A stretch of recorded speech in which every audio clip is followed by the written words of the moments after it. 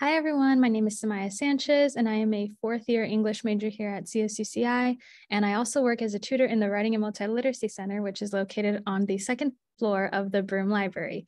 And the reason I'm making this video today is because I am actually going to be your embedded multiliteracy tutor or EMT for your English 102 section 4 class. Now, a little bit about what the WMC is.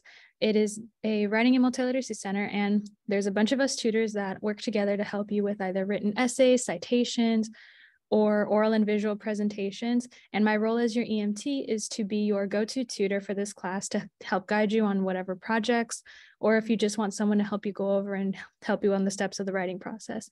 My hours and availability all vary, and you can find that on your Canvas module, as well as all in other information about what the WMC is and how to make an appointment. Thank you so much for watching this video, and I look forward to working with you all for this semester.